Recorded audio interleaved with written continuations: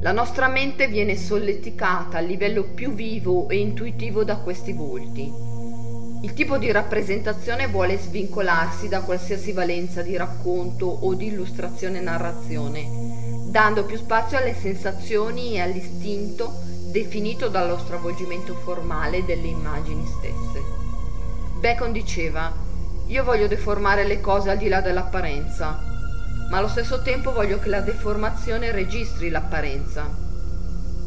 Anche nelle trasposizioni dell'artista Bottellini non vi è una cancellazione della figura, una negazione dell'uomo, ma vi è piuttosto una restituzione di esso in maniera tormentata, cruda, quasi un eccesso di verità che si trasforma in ricerca di emozione. L'intento primario sembra essere lo sviscerare una materialità alienata dalla solitudine al di là del raggiungimento della bellezza formale. Non ci si limita all'apparenza estetica, ma vi è pura ammissione di un'umanità dolente, attraverso volti carichi di urgenza espressiva.